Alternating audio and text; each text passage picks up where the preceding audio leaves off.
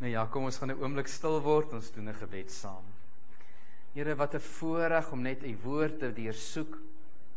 Here, u leer ons altyd in elke boek en elke gedeelte het u net vir ons weer 'n boodskap. Baie dankie dat u spreek met ons in ons eie lewe in. Here, terwyl ons ook deur die boek van Konings begin beweeg, bid ons dat u ons ryklik sal kom ontmoet en seën en Here, dat ons harte letterlik ingetrek sal word in die verhale van die Bybel. Dat ons daardeur soveel kan toepas as dit vir ons oopbreek. En dis ons gebed, Here. Wys vir ons die dieptes en die krag van u woord en dat ons altyd Here sal let op die woorde van God. Dankie dat ons dit kan vra in Jesus naam. Amen. Nou vriende, ons kom by um, 1 Konings hoofstuk En ons gaan probeer om dalk nog so 'n bietjie verder te vorder hoofstuk 4. Ek is nie eers seker of ons by hoofstuk 5 gaan kom nie. En dit gaan oor die lewe van Salomo. Die eerste hoofstuk en veral jou tweede hoofstuk gaan oor Dawid wat oorgee aan Salomo wat 'n boodskap hierdie groot godsman. Hierdie man wat met die Here gewandel het, vir God soveel oorwinnings bereik het. Daar's 'n dag wat jy moet oorgee, reg? Die geestelike lewe gaan nie oor alles wat jy bereik nie, maar hoe jy die volgende generasie oplei. En hy het een groot fout gemaak en dit was hy was 'n baie slegte pa. Hy was 'n goeie koning, maar hy het sy kinders nooit regtig bestraf nie. Dit beteken dat hy nooit vir hulle gesê jy's verkeerd nie. En die uiteinde was sy een seun Adonia, die al die hoeveelste een wat probeer om koning te word, En op die ou einde lees ons dat die woord van die Here vir ons sê dat um, hy doodgemaak is en wat op die ou einde gebeur Salomo word koning en hy gee vir hom raad oor hoe om sy koninkryk te uh, bedryf. Sy grootste raad wat hy hom aan hom gegee het was walk with God. Grootste raad wat jy ooit aan jou kinders kan gee is wat? Walk with God. Niets anders nie. Wandel met God. Die grootste ding wat jy ooit jou kinders kan leer. Hier so 'n bietjie van net 'n 'n verduideliking vir jou. Die boek van uh Samuel vertel vir ons die verhaal van Samuel, Saul en Dawid. Daar lees jy eers 1 Samuel, 2 Samuel. En dan hier kom ons by die boek van Konings, einde van Dawid se lewe, begin die boek van Konings en dan die suidelike, die noordelike konings en nou kom jy agter die boek van Kronieke begin alreeds hier van Dawid se lewe by 2 Samuel kan jy sien. So daar's oorvleeling. Konings en kronieke is nie almal presies dieselfde nie. Kronieke begin vroeër.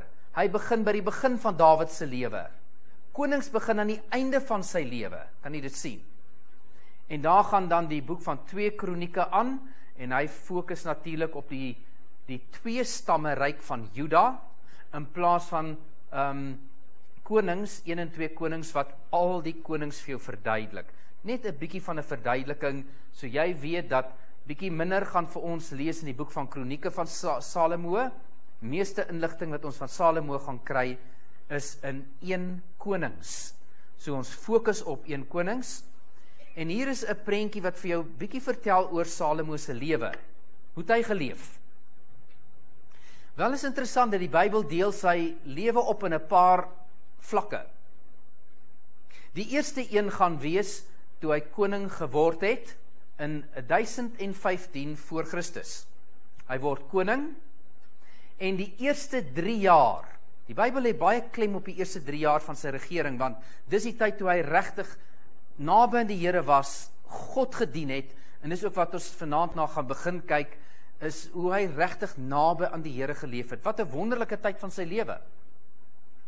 En toe begin hy die tempel bou en in 2004 voor Christus begin hy sy eie huishou bou. Hy het 7 jaar gebou in die tempel, maar 13 jaar aan sy eie huis. Klink dit nie dalk vir jou na 'n probleem nie? Alreeds, né? En hier begin die afdraande pad van Salomo se lewe Die tempel word klaar gebou en op die ou einde um begin uh, Salomo in sonde lewe. Hy begin later selfs die tempels van die afgode bou. Soos Salomo het heeltemal teruggeval. Dit is 'n verhaal van 'n man wat so goed begin het, maar hy het nie volgehou nie. En jy sukkel om sy eerste lewe en sy latere lewe bymekaar te bring as dat dieselfde ou is. Hoe kan 'n mens op 'n stadium die Here so met passie dien? So verhouding en dit was nie eensydig nie. God het met hom gepraat, die grootste dinge vir hom gedoen. Maar jy sien dat as 'n mens kompromie maak met 'n paar sondes in jou lewe, daai sondes gaan later oorneem. En dis wat die Here vir ons voorwaarsku. Wees baie versigtig. Kyk waar begin sy lewe? Ons is net nadat hy koning geword het, sê die Bybel. Daar sien eers kies net tempel wat hy gebou het, maar kyk hoe lyk sy paleis. Dis nie goed nie. Toe hy op die troon kom, het hy almal wat teen hom was en wat teen Dawid was, eers om die uh, lewe gebring. Hulle het gesterf. Een van hulle was byvoorbeeld Abjatar. Hy sterf nie. Dit was die hoofpriester. Die hoofpriester vat hy uit die pad uit en ehm um, hy stel dan Sadok aan as die hoofpriester want hy het saam met Antonia 'n sameswering gemaak in om te gaan koning word. So hy sê vir hom omdat jy die skouerkleed gedra het en al die jare saam met my pa was, daarom gaan ek jou nie doodmaak nie. En dis een van die dinge wat ons baie sukkel met hierdie man Abiatar. Abiatar, hierdie hoofpriester, het saam met Dawid gegaan toe hy vir Saul gevlug het. Hy het self saam met Dawid gegaan toe Absalom teen hom draai. Abiatar was saam met Dawid. Hoekom draai hy op die heel ou einde teen Dawid en hy gaan saam met Adonia? Maak nie baie sin nie. Op die ou einde was daar 'n plan van die Here gewees. Dit lees jy in die heel begin van die boek van Samuel. Eli se nageslag. Omdat Eli gesondig het en sy seuns gesondig het, sê die Here van sy nageslag en en Abjatar is die agterklein seun van ou Eli. Jou priesterskap sal tot 'n einde kom, Salomo vervul dit en Sadok wat se naam beteken getrouheid neem oor en da en natuurlik het die priesters van Sadok reg deur baie honderde jare getrou die priesterskap bedien tot net voor Christus en die priesters van Sadok het die Sadduseërs geword in Jesus se tyd heeltemal van die map af. So wat gebeur hier? Eerstens Abjatar, ons gaan 'n oomblik terug. Joab, die leeroowerste, twee manne doodgemaak in 'n vredevolle tyd en hy laat hom dan op die ou einde om die lewe bring en dan is uh, Semei die man wat Dawid gevloek het word ook op die ou einde doodgemaak. Ons gaan nie vreeslik daaraan aandag gee nie. Kom ons kyk net na die lesse wat uit Salomo se lewe kom, 1 Konings hoofstuk 3 tot 5. 'n Nuwe koninkryk staan op. 'n heel nuwe koninkryk kom in in in beheer toe Dawid toe Dawid oorgee aan Salomo. Nou vriende, wanneer jy kyk na die verskil tussen Dawid en Salomo, gaan jy agterkom is twee verskillende mense. Totaal. Dawid was die eenvoudige skaapherder. Maar as jy kyk na Salomo, Salomo was eerder hierdie celebrity gewees. Reg? Hoe klink dit? Klink dit goed? alreeds hier's fout. Hierdie man wat eenvoudig soos Dawid met God gewandel het en Dawid het psalms geskryf. Maar Salomo skryf spreuke, slim wyshede. En ons het dit nodig. Maar die een is 'n gesprek met God, die ander is 'n gesprek met mense. Kan jy sien iewers val ons in standaard? Dis nie dieselfde nie. Daar's tog goeie dinge in in in Salomo se lewe wat eintlik wonderlik is. Um, ek noem byvoorbeeld vir jou sekere dinge. Een van die wonderlike dinge in Salomo se lewe was hy het op sekere tye geleer om stil te word. Ons kan baie goeie dinge leer by hom. Jy lees dit eers in die boek van Hooglied. Hooglied is die lied wat hy geskryf het aan hierdie pragtige meisie wat hy ontmoet het in die veld. Nou jy moet die boek van Hooglied mooi verstaan want hy praat van 'n skaapherder en 'n koning. En hierdie meisie raak verlief en sy raak verlief op 'n herder en 'n koning en nou moet jy baie mooi luister meeste mense of party mense dink dit was twee verskillende ouens die skaapherder en die koning. Gaan lees baie mooi dis 'n baie diep boek daai. Die boek sê eintlik vir jou die herder was niemand anders as Salomo nie. En en toe hy weggaan, kom hy terug want hy beloof hy kom haar haal en toe hy haar kom haal, wat kry sy? Hy is ook die koning. Sit nie geweet nie. Dit is 'n baie diep boodskap vir ons want jy sien, ek en jy raak ook verlief op Jesus Christus en hoe is hy? Hy trek sy kleed uit en dis wat Salomo gedoen het. Op sekere tye dan het hy net homself afgesonder van koningskap. Hy los die troon, hy los die paleis, hy gaan na sy winterpaleis toe en wat het hy gedoen? Dieselfde as sy pa Dawid het 'n herder geword. Tye om stil te word met God, is dit nie so nie. As tye wat ons moet leer om net 'n bietjie al ons werk en al ons goed vir 'n oomblik eenkant te sit en te los. En met God bietjie tyd te gaan spandeer, want dis waar die deurbrake kom, net so in Salomo se lewe. Hoeveel vrouens het hy gehad? 1000. Hoeveel liedere het hy geskrywe? 1005. So ons kom agter hy het vir elke vrou 'n lied, lied geskryf. Maar net een lied is opgeteken in die Bybel en dis Hooglied. Wat leer dit ons? Hy moes net een vrou gehad het. En dis daardie een wat hy ontmoet het in die tyd toe hy stil geword het met God. Ek het die verskriklikste woorde sopas vir jou gesê. Wanneer het hy die een vrou ontmoet op verlief geraak wat eintlik die enigste een was. Wanneer het die deurbraak gekom in sy lewe? Toe Salomo stil geword het in die veld, eenkant met die Here en hy het van die koning se troon afgeklim en hy het hieronder 'n skaapherder geword en hy sien 'n pragtige beeldskone meisie en hy kry haar in die veld, nie een van die prinsesse nie. Kry haar in die veld gebrand deur die son, raak verlief. Dit was die vrou wat hy moes gehad het. Wanneer kom die deurbraak in jou lewe? Dis tye wat ons moet stil word met die Here. Verstaan jy dit?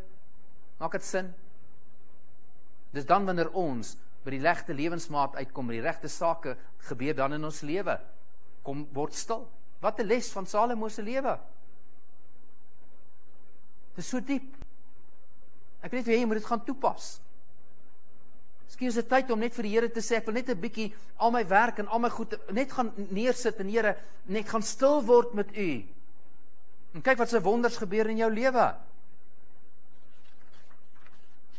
Dawid het oorlog geveg en hy moes God vertrou met elke oorlog. Salomo was anders gewees. Hy was 'n ou van vrede gewees en hy sluit dan ook um kontrakte met al die vyandige nasies om hom deur verskillende huwelike aan te gaan. Dis hoe hy by 700 vrouens uitgekom het. So hy het kort kort nog 'n kontrak met nog een van die groot leiers en een van die konings gesluit. Hy trou met 700 vrouens, 300 byvroue. Die Bybel sê 700 prinsesse. So hierdie oue treaties wat in Engels het hy gemaak met almal. Klink dit goed? Dis moeilikheid. Want jy sien Dawid het God vertrou. Dawid het God vertrou.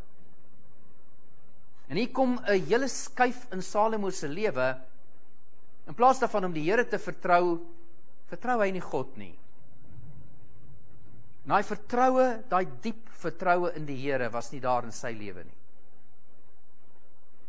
En ek wil vir jou sê dis deel van wat 'n kind van die Here in sy lewe moet hê. Ons gaan later weer 'n bietjie 'n oomblik daarby stil staan. Op die ou einde sterf Dawid en al die mense het getreur. In die dag toe Salomo sterwe was al die mense verlig want toe weet hulle hoe swaar dit hy hulle geteks die hele tyd. Al die belastings. As jy kyk na sy eerste 3 jaar sien jy wonderlike dinge plaasvind in sy lewe, maar jy sien ook daar begin krake iewers in sy lewe vorm. Dis die hele ding. Klein krakies begin in sy lewe vorm wat later die dam laat bars het. Hy laat sekere dinge toe en dis dinge wat dalk nie vir ons klink asof dit vreeslike vreeslik erg kan wees nie. As 'n koning het hy baie geld bymekaar gemaak en rykdom, baie perde en baie vrouens. En jy weet wanneer goeder te veel raak in ons lewe, is jy besig om jou aandag van die Here af te kry. Verstaan jy dit? En van hierdie goeder het sy val gekos. Woord van die Here sê vir ons dat Salomo moes in Deuteronomium 17 wanneer 'n koning op sy troon gaan sit, sê die Bybel, moet hy 'n afskrif van die wet, die hele boek van Moses vat. Maar hy moet dit in sy eie handskrif skryf. En hy moet op die troon sit en hy moet dit self lees en hy moet dit langs sy troon hou. Dis was die opdrag van Deuteronomium 17. As daar 'n koning kom, dis wat hy moet doen. Dit maak dat hy so moes doen wat die Here sê en Salomo het dit nie gedoen nie. Hy het nie die woord gelees nie, dit neergeskryf nie, later dit ook nie gedoen nie. Want die Here sê vir ons en hy het vir hom vrouens vermeerder alles wat God gesê het, hy mag nie doen nie. Alles begin natuurlik by die prinses van Egipte. Ons het nie baie detail nie. Waarom het hy juis dit die eerste stap gemaak toe hy koning word? Miskien was dit net 'n vredesonderhandeling tussen Israel en Egipte en hy bring hierdie prinses binne in sy paleis in. Die Bybel sê binne in Jerusalem in sy daar kom bly. Nou is daar vrede tussen Egipte en Israel. Maar hy self die prinses het die grootste grootste afval op die ou einde gedoen want hy het vir haar 'n tempel vir haar afgode gebring. Israel het nie, die Here het nooit 'n probleem gehad met ander nasies om in te kom nie. God het nie 'n probleem gehad nie. Rut het ook ingekom. En wat het gebeur met Rut? Toe Rut inkom in Israel in toe sê sy ek kies die Here, ek sal hom volg, ek sal hom dien. Jy verstaan dit? En sy word deel van selfs Christus se voorgeslag.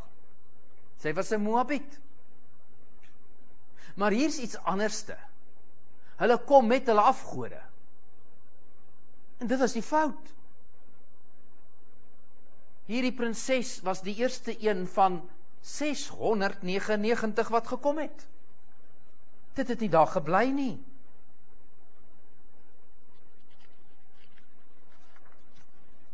Ons lees in 1 Konings hoofstuk 3 vers 3 hierdie woorde Ekskuus, kom ons begin net by hoofstuk 1 3 3 vers 1.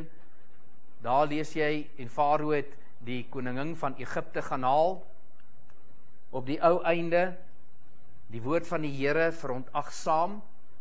En hier is iets baie interessant. 'n Gevolgtrekking Solomon married the world. Letterlik, hè? 700 vroue van al die nasies Solomon married the world.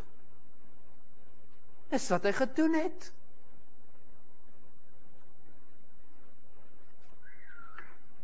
Ons lees in vers 3 hierdie woorde.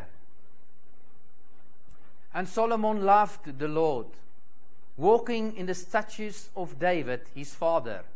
Only he sacrificed and burnt incense in high places. Hoor hierdie woorde. And Solomon loved the, the Lord Hy het die Here baie lief gehad. Hy het God so lief gehad. Hy het naby die Here geleef. Nou nou staan daar en hy het gewandel in dit wat wat Dawid gesê het. Hy het dieselfde pad geloop. Maar maar hy het geoffer op die hoë plekke. Wat is die hoë plekke?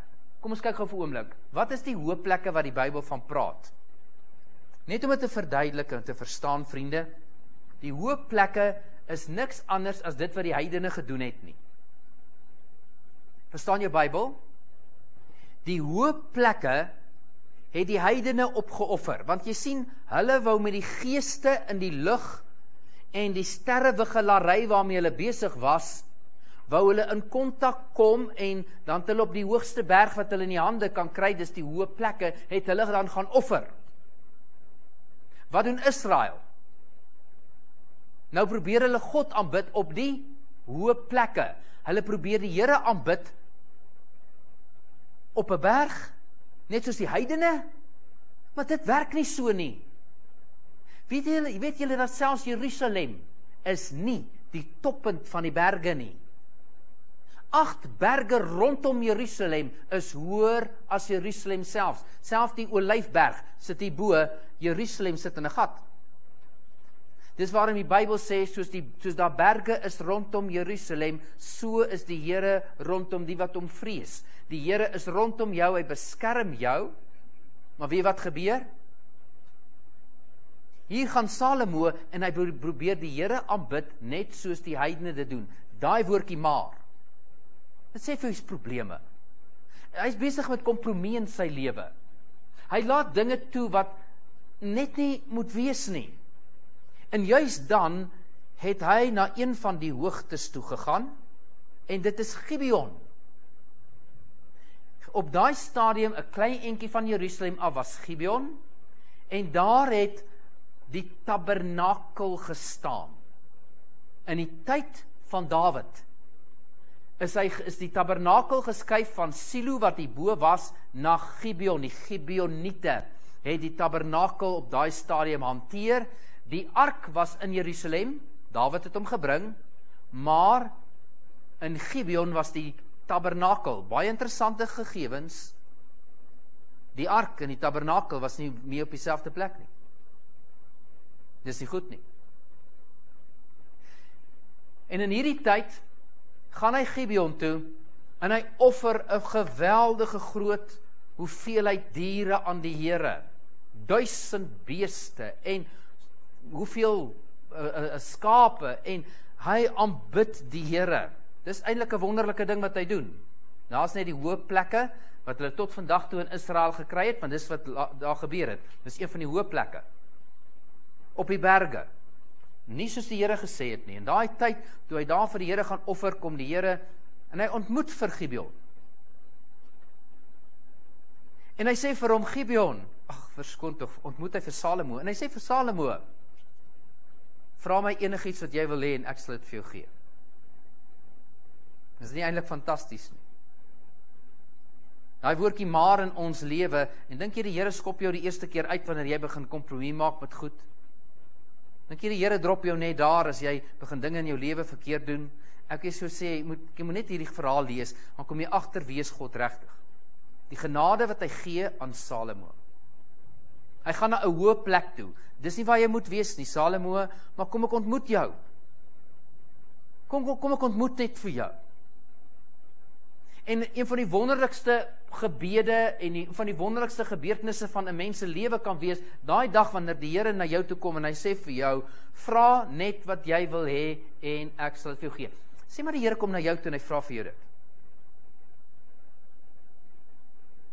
Wat gaan jy antwoord? Ja, ek weet wat 'n party party van julle dalk dink julle ek, ek dink julle gaan antwoord. Kom ek gee net vir jou 'n verrassing. Hy gee daai versoek aan jou. As jy dit nie weet nie, gaan lees jou Bybel. Matteus 7 vers 7. Vra en dit sal vir julle gegee word. Soek en julle sal vind. Klop en vir jou sal oopgemaak word. Hoor die woorde. Vra en vir jou sal gegee word. Johannes 7:15 vers 7 sê: Bly in my en my woord en in julle. En julle sal vra net wat julle wil. En dit sal aan julle gegee word. Maar die belangrike wat jy moet lees hier is ek moet in jou bly en my woord in jou en vra dan net wat jy wil hê. As sy woord in jou bly, vra vir hom net wat jy wil. Wat wil jy? Wat wil jy? Wat wat sal dit wees as jy moet antwoord? As God vir jou sê, hier's 'n kans. Vra vir my wat jy wil hê. Ek wil net vir jou sê ek verstaan nie hoeveel keer het God my lewe dit vir my kom vra nie. Dat God na my toe kom en dan sê die Here vir my, "Wat wil jy hê?" Nou moet julle sien hoe tap trap ek klei om vir die Here te sê, Here, wat alles? Wat alles? En sê Here vir my nee. Dis spesifiek. Nou kom ek agter as goed dat ek nie vir God kan vra nie. Jy sien want Salomo kon nie 1000 dinge vra nie. Jy kon 'n een saak vra. Wat is die belangrikste wat jy vir God wil vra? Gaan dit wees dalk meer geld? Baie geld, Here, dan kan ek alles koop. Wees eerlik, is dit wat jy sou antwoord? Baie geluk, Here, o, ek sukkel. Dit wat jy sou vra. Wie wat jy kan die beste vra. En die Here het ook gesê jy het die beste gekies. Want jy sien op die ou einde lees ons van Salomo, hy het gevra vir wysheid. En wysheid is een van die grootste dinge wat jy kan vra want jy, jy kan hoeveel geld hê en nie wysheid hê om dit te spandeer nie. Jy kan wysheid hê en meer geld maak as wat jy ooit kan kan gebruik. Baie mense se hele probleem is nie hulle het meer geld nodig nie, hulle het meer wysheid nodig. Dis al wat ek jou sê. Baie mense weet nie hoe om met geld te werk nie. En hier lees ons hy kom en hy sê Here, gee my wysheid. Dit is een van die grootste dinge wat jy in jou hele lewe kan vra vir die Here. En God kom en sê jy het vir wysheid gevra, maar omdat jy reg geantwoord het, gaan ek die ander goed vir jou bygee. Jy sien dit lees ons in die Nuwe Testament, Matteus hoofstuk 6 vers 33. Die Here sê vir ons, soek eers die koninkryk van die hemele en die res wat jy nie eens voor gevra het nie, sal God vir jou byvoeg. Jy het nie eens gevra nie. Maar soek die Here, soek sy dinge. En God kyk na jou hart en hy sê, "En my kind, ek bless jou sommer met die res ook." Dit wat die wêreld soek, sê Matteus 6, hulle soek dit, maar ons soek die koninkryk en die Here gee vir ons wat die wêreld soek. Wow. Aangrypend. Ek wil vir u sê, ek kyk terug na my lewe en ek kan nie vir u vertel hoe verkeerd het God na my toe gekom en vir my hierdie vraag gevra, wat wil jy hê nie? Ek was 'n klein seentjie gewees. Toe ek een nag 'n droom gehad. Dit was al reeds ek het my hart vir die Here gegee en ek onthou ek droom daai nag en dit was die eerste keer en ek het twee keer in my lewe 'n visioen gehad, net twee keer. Hierdie ouens wat elke nag 'n visioen het, o gonna, né? Nee? OK. Ek het twee keer in my lewe dit gehad. Ek het 'n visioen een nag as 'n jong seun en ek sien ook in 'n kamer verskyn en ek onthou dat dit was die mooiste kamer wat ek in my lewe gesien het. Ek nog nooit so iets op aarde gesien nie. Alles was van die mooiste, mooiste, mooiste hemelse porselein, goddelike glans wat daardeur geskitter het. Vriende, dit was so so so mooi. Dit was so pragtig. En die Here sê vir my, vat enige iets wat jy wil hê en dit sal joune wees. En ek aarzel en ek weet nie wat ek wil vat nie. En ek kyk na goed en ek sê ag ek het dit nog oh, ek wens ek kan dit hê. Ek wens ek kan hierdie goed hê in die volgende oomblik toe verdwyn. Daardie kamer. En alles is pik swart en ek sit met hierdie gewroeging in my. Hoekom het ek niks gevat nie? In die volgende oomblik toe verskyn ek in 'n tweede kamer en hierdie keer was alles van glas gewees. Dit was so mooi maar dit was nie so mooi soos die eerste nie. En dit was weer 'n goddelike glans wat deur daardie kamer was. Dit was so pragtig. Weereens sien ek goed wat ek so graag sou wou gehad het en dieselfde stem sê vir my: "Vat net wat jy wil hê en dit sal joune wees." Ek het deur gestap, weet jy hoeveel het ek gevat? Niks. Ek kon nie glo ek kan so iets vat nie. In 'n oomblik het daai kamer verdwyn, alles is pikdonker. En ek verskyn in 'n derde kamer en hierdie keer was alles van plastiek gewees. Weer sien ek 'n klomp goed wat ek kan dink ek het dit baie nodig in die lewe. Die stem het nie weer weer klink nie, maar ek het geweet vat net wat jy wil hê. En voor die kamer verdwyn, toe vat ek so 'n klein plastiek dice, dit lyk net soos 'n dice. En 'n plastiek kaartjie wat lyk soos 'n kredietkaart en ek word wakker op my bed en ek sit reg op met my hand so toe. En ek maak my oë oop. So werklik, so werklik as wat dit net kan wees. Jy het voel of ek dit beleef het. Maak my oë my hand oop en toe staan niks in nie. Maar God het vir my iets gewys. Wat bied hy vir ons? Hemelse rykdomme. Julle wat vat meeste kinders van die Here? Het vir God gesê verander my hart. Niks werk plastiek. Wat vra jy vir God?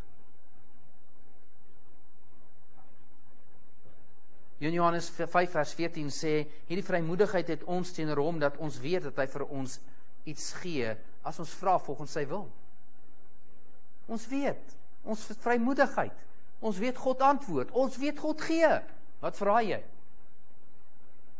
Wat 'n geleentheid wat die Here vir jou in jou lewe bied. Ek wil vir julle jong mense sê.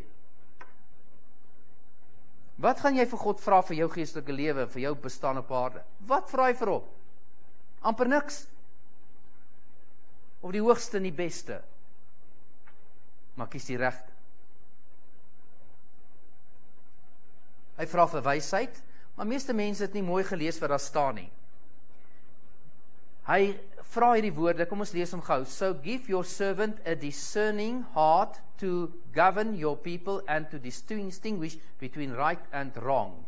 For who is able to govern this great people of yours? Give me a discerning heart. Hy het nie gevra net vir wysheid nie. Hy vra hy vra vir 'n discerning heart beteken 'n hart in die oorspronklike taal 'n hart wat kan luister. Wie hoe groot is dit? Here gee my 'n hart wat kan luister na U. Gee my ore wat as U praat dan hoor ek. Dis verskriklik groot. Geen wonder die Here het vir hom gesê jy het wonderlik geantwoord nie. Hierdie man was so ingestel met die Here dat hy kon luister na die Here. Later lees ons van 'n toets wat letterlik oor oor oor hom gekom het toe twee vrouens in die Bybel sê was twee straatvrouens gewees wat ewe skielik daar aankom en hulle sê maar hier's een babatjie, die enetjie is dood, die enetjie lewe en iets baie interessant vind plaas. Hulle sê nie weet die ene wat praat sê eerste praat sê mens my kind. Die ander een sê nee is my kind en ons was saam in die huis en niemand het ehm um, was by ons gewees nie en op die ou einde toe sterf die een en die ander een sê toe kyk ek maar dis nie my kind nie en twee is omgeruil. Nie vind jy 'n baie groot probleem. In die Ou Testament het die Here altyd gesê met die saak van twee getuies staan 'n saak vas. Jy verstaan dit? Twee ouens moet getuienis gee As twee ouens kan sê 'n ding is waar, dan kan jy luister na dit. Maar as net een ou kom, hoe weet jy dis waar? Hier's die probleem. Kan u sien? Hier's twee vrouens, daar was niemand by nie, en dis die probleem. Wie's reg? Die een sê dis my kind, die ander een sê dis my kind, een jok en jy weet nie wie wie's dit nie. Das is baie interessant in die woord van die Here. Spreuke 18 vers 17 staan die woorde. Die een wat eerste in sy regsaak is, het reg, maar die naaste kom en ondersoek hom terdee. Plein weg in aan plein Afrikaans. Die eerste ou kom en hy vertel sy storie. En hy klink reg. Dan kom die tweede persoon en hy vertel sy storie. En dis 'n heeltemal 'n ander saak. Hoor jy dit? Wat leer Salomo? Wat is wysheid? Jy luister nie na die eerste ou nie. Weet jy hoe dom is party mense? As die eerste storie by jou uitkom, jy glo dit. Hierdie ou kom vertel sy sop storie in jy, o, oh, dit klink presies reg. Gaan vind 'n bietjie uit wat aangaan. Die storie is heeltemal anders as jy na 'n ander ou luister. So wysheid nommer 1 is moenie luister vir die eerste ou wat vir jou storie vertel nie. Baie maklik. En veral wanneer dit 'n kinderstorie is. Luister. Moenie luister na daai eerste een wat ou wat na jou toe kom en vir jou vertel wat wat gaan aan en wat gebeur nie. Moenie hom luister nie. En so belangrik dat ons hierdie goeters verstaan, dis hoe hy wysheid werk. Nou weet Salomo, hy was nie 'n tweede persoon as getuie nie, so wat doen hy? Hy val terug op die natuur. Jy sien 'n vrou het haar kind lief, dis deel van natuur en van 'n van 'n mens, van 'n dier, almal werk so. Jy's lief vir jou kind. En hy weet die waarheid lê iewers en die waarheid sal uitkom. So hy bring net 'n soldaat en sê, "Oké, okay, ag, ons skap hierdie enetjie in wat nou lewe in twee en dan gee ons vir elkeen 'n helfte." En die ma, wie se kind dit is, die regte ma gaan uitroep en sê, "Nee." Want haar hart word geprikkel. So hy weet daar's 'n ander manier om die waarheid uit te vind. Kom ons gaan terug op natuurwette en hy tot God se natuurwette geken en gehoorsaam. Mag ek nog 'n stywer in die beurs gooi? Wil jy wysheid hê in die lewe? Ken God se natuurwette. Ek sê dit vir jou met elke opsig in die lewe. God het sekere goed op sekere maniere gemaak. Luister daarna. Vir alles wat kom by medikasie. Al hierdie pille wat hulle julle so voer, maak julle dood. Elke pil wat jy drink het neeweffekte. Dis nie natuurlik nie, hoor? En jy dink jy's vreeslik slim. Enigste wie slim is, is die dokter wat vir jou al die goed voorskryf want hy maak baie geld. Hoe natuurliker jy gaan, hoe beter. Salomo het iets geverstaan hierso. Ek glo dat die hele wêreld werk so. Doen dit soos God gesê het en jy gaan sien dit werk. Baie interessant. Sy wysheid was so groot geweest. O, vriende, hierdie man se wysheid, Bybel sê vir ons, hy was so wys. Hy het alles verstaan, die natuur. Hy het die seisoene verstaan. Hy het gepraat en mense wat die slimste ouens het nie naby hom gekom nie. Ek dink hy noem hierso byvoorbeeld Iten, Iten de is is is Esra Esra Esrahit. Ag, ag, kom ons nou by die naam uit. Hy is een van die Bybelskrywers. Hy het een van die psalms geskryf. Bybel sê Salomo was baie slimmer as hy gewees. Ek wil 'n oomblik met jou praat oor wysheid. Wysheid is een van die grootste goed wat jy vir God kan vra. Een van die grootste goed wat jy ooit vir God kan vra is wysheid. Here gee my wysheid, God gee vir hom wysheid en Salomo doen iets wat jy later in die Bybel lees wat baie baie interessant is en ek wil net vir jou sê meeste mense verstaan dit nog nooit hierdie gedeelte gelees nie en jy lees dit in hoofstuk 9 vers 15 en Salomo het gegaan en hy het Hazor en Megiddo en Gezer het hy gebou Ek vat jou in een van die geheime van die Bybel in. Dit maak nie sin as jy dit lees nie. Want jy weet nie hoe werk Israel nie. Jy sien, daar was drie stede. Hazor, Megiddo en Gezer. Dit was niks anders as die drie hoofstede van wat ons ken vandag as die Via Maris, die weg langs die see.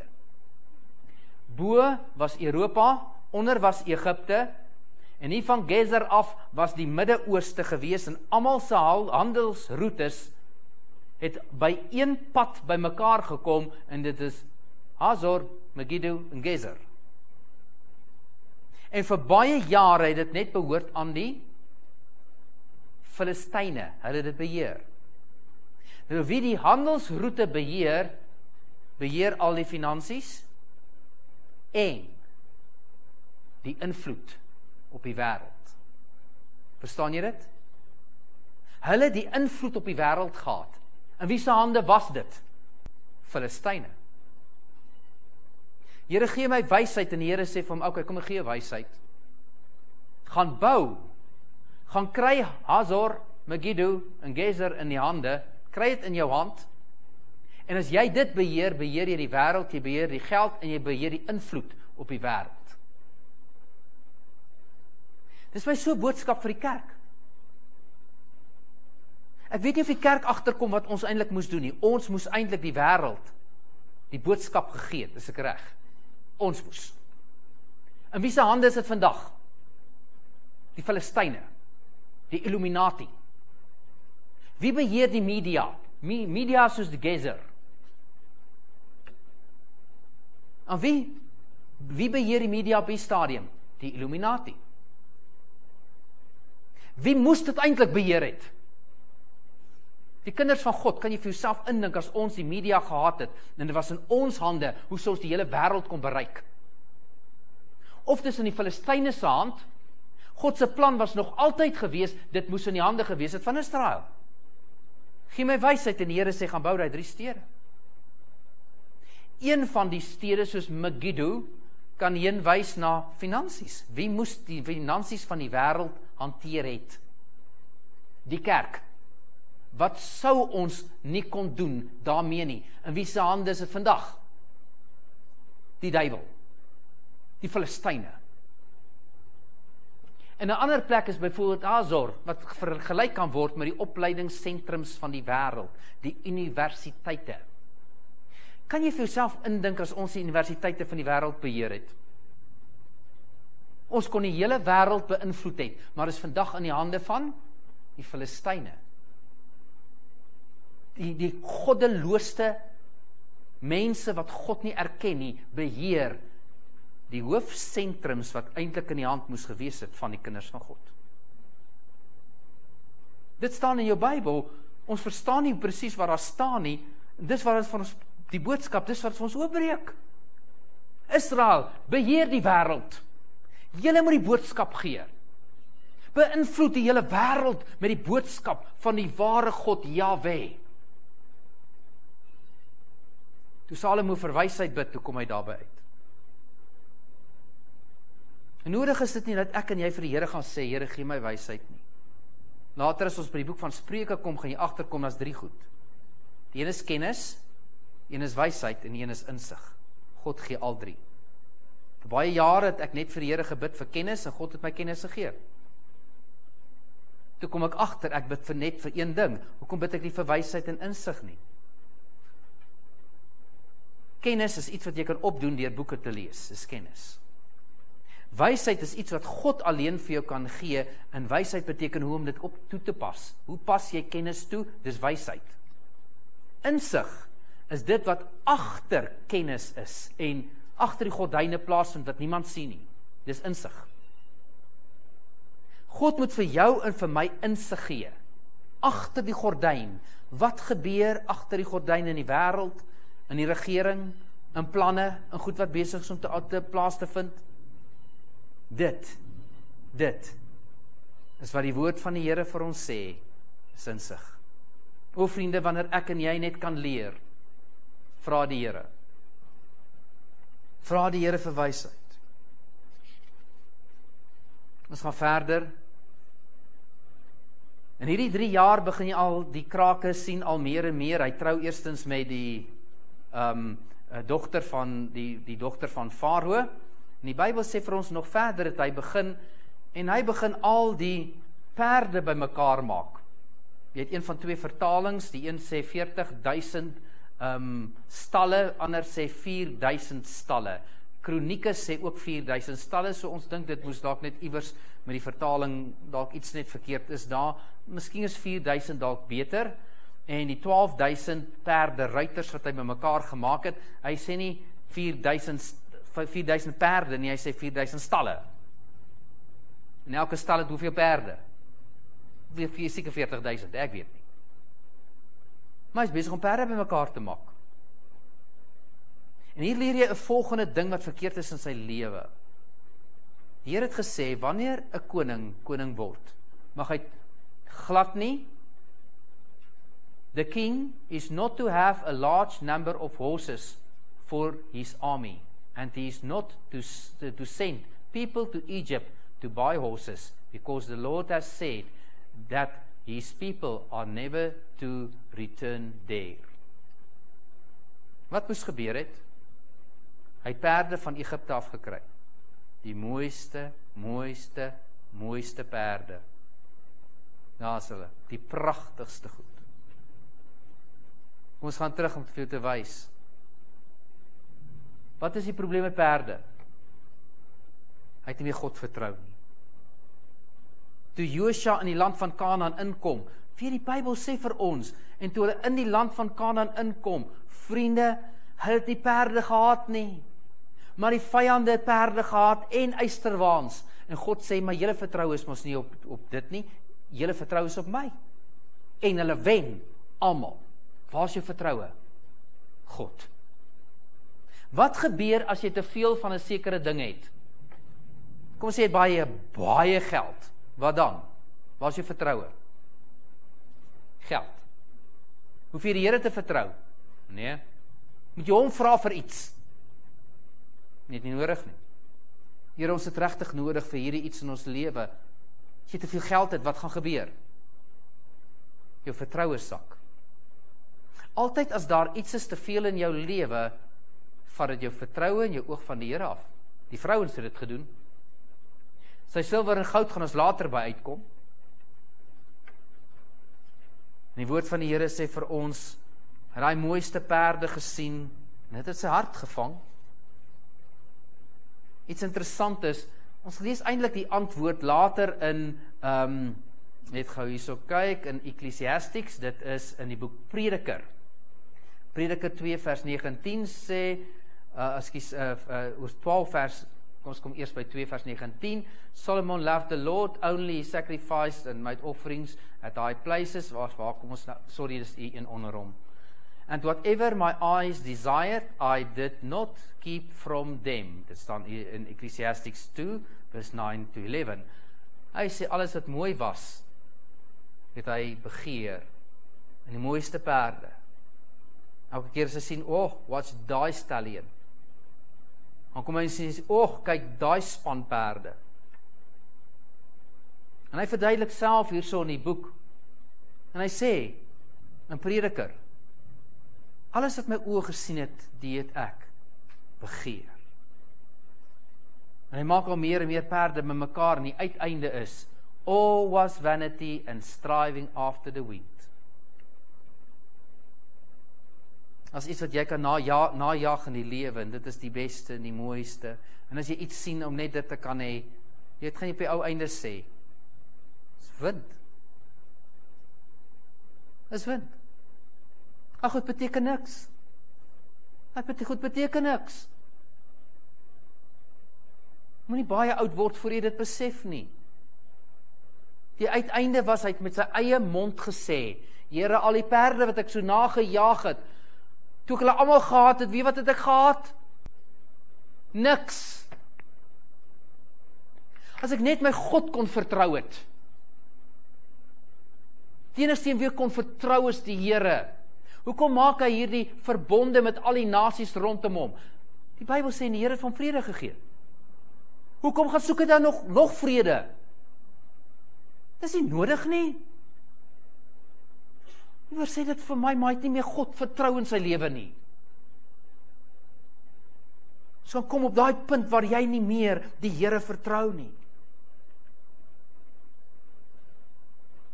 Jy sien daai goed is wind.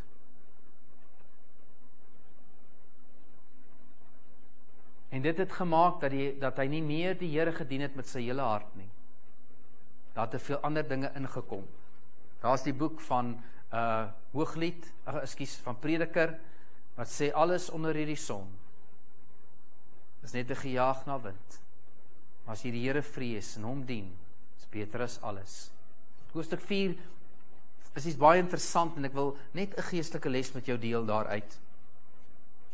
Hoofstuk 4 irriteer party mense bietjie want dit is lang stories daarvan hoe sy ryk vredevol was en hoeveel um, koring hy bymekaar gemaak het per dag en hoeveel meel in 10 vet beeste en 20 veld beeste en soveel voëls en soveel uh, wilde diere wat op een dag o dis vreeslik baie goed. Baie klomp detail. En dan as jy dit goed lees dan sê jy dit vir jouself ek meen waarom staan dit alles in die Bybel? As is baie interessant in 1 Konings 4 Ek wil ek met jou graag daar praat. Die Bybel sê dat die Here het vrede gegee vir Salomo. En elke een kon onder onder hulle vrye boom en onder hulle um, wingerd sit en rustig wees van dan af tot by Berseba. Die hele Israel was rustig. En Salomo het alles georden in sy lewe. Daar was orde. Daai ouens was oor die leer, daai ouens was oor die kos, daai ouens was oor die huishouding. Hierdie ou was daaroor, hierdie ou het die dwangarbeid hanteer. Hierdie dis vreeslik detail. Al wat die Bybel vir jou sê is daar moet orde kom in jou lewe. Een van die goed wat God in ons lewe wil kry is orde. Ek verbaas my soms hoe party mense kan lewe. Ek dink party mense word groot in 'n huis sonder orde. Alles is die mekaar. Jy weet ons daai huise wat so bang is, nê? Nee? Nie pa, dan drink hy en dan is dit weer die mekaar en dan loop hy weer weg en die ma sal by die derde man en dis is so te mekaar. Nou word daai kind groot en daai hele kind se lewe is ook wat? wanorde. En ek kom agter dat ek sukkel om God se stem te hoor wanneer alles so de mekaar is. Die vyand hou van alles is de mekaar in jou lewe. Tot wanneer die Here kom en hy kan orde skep in 'n gemeente in sy kerk want God is 'n God van orde dan kry die Here dit reg om met ons te praat. Hoe klink dit? En as jy jou lewe nie orde het nie, jy kan nie stil word nie. Want jy sukkel om sy stem te hoor. Want alles is hierdie bang en is so absoluut de mekaar. Dit leer my net hierdie eenvoudige eenvoudige les. Salomo se lewe is sy se naam beteken vrede. Dit kom van die naam van die woord Shalom af. Salomo kom van die woord Shalom af. Ek het geleer dat die hele wêreld om ons is chaoties. Die hele wêreld. Maar wanneer jy by Jesus uitkom, kom skep God orde. En ewe skielik begin die Here goedjies in plek laat val. En hy kom in beheer. Dis nie meer jy nie, is hy. En die Here klomp gooi 'n klomp goeders uit. Jy se agterkom dat as jy by die Here uitkom, dan kom jy agter, hoor jy daai klomp films wat ons voorheen na gekyk het. Ons kyk nie meer na daai goed nie. Jy dan kyk mens na iets wat jy gekyk het jare gelede toe jy voor die by die Here uitgekom het, dan en dan sit hom sit jy weer dieselfde prent op. Jy het nie 5 minute gekyk nie, dan sit jy hom vinnig af. Hoekom? Wow, ek het nie geweet hulle vloek so in hierdie film nie. Maar toe jy ongered was, was dit oukei. Okay. Toe jy by Jesus uitkom, toe sit dit nie meer oukei okay nie. Hier kom die Here en hy skep orde in jou lewe. En jou hele lewe word 'n plek waar God selfs in jou gedagte wêreld jou begin vrede bring. Orde kry tot jou finansies. Manier hoe jy lewe. God sorteer chaos uit. As jy wil sien waar die duiwel werk. Chaos. Chaos. Hy veroorsaak dit. Een van een van sy name is duiwel en duiwel beteken in Hebreëus die een wat alles te mekaar krap. So die eenvoudige les van 1 Konings hoofstuk 4 is gaan kry 'n bietjie orde in jou lewe. Miskien eindig ek met dieselfde boodskap wat ons iewers mee begin het. Salomo moes leer. Partykeer van die troon af te klim en die paleis te los en in die veld te gaan soos sy pa Dawid. Daai tyd om een een kant te kom met die Here, daai tyd om met God te ontmoet. Ons is belangriker as dit nie. Dis waar die deurbrake gekom het in sy lewe, reg? Dis waar sy lewensmaat ontmoet het in die veld, nie tussen daai klomp hoëgeagte um, prinsesse nie. Was nie hulle nie hoe as ek en jy net kan leer. Miskien is dit tyd net om een kant te kom met God. Beste tyd in jou lewe. Tyd om orde te kry soms in die Here kom skud net ons goed wat so die mekaar is. Moenie daar wees nie. Moenie daar wees nie. Jy gaan nie sy stem hoor nie. Gaan word stil. Dat God jou lewe orde skep. Mag dit wees dat die Here in ons gemeente die genade gee om dinge te orde. Want dan kan ons rustig genoeg wees om te kan luister na sy stem want dis wie hy is. Kom ons gaan 'n oomblik ons harte net voor die Here buig. Vader, baie dankie vir u woord en wie is die lesse wat ons kan leer, Here, uit u woord uit. En Here, dis ons diepste hartsbegeerte, o God skep daai tye saam met U. Ek het soveel om te leer uit Salomo se lewe, sy foute en daai tye wat hy die goed reg gedoen het. En help ons om hier weg te gaan, Here, met 'n boodskap en iets wat U vir my gesê het. Dankie dat U op 'n kosbare manier met ons praat. Ons aanbid U daarvoor in Jesus naam. Amen.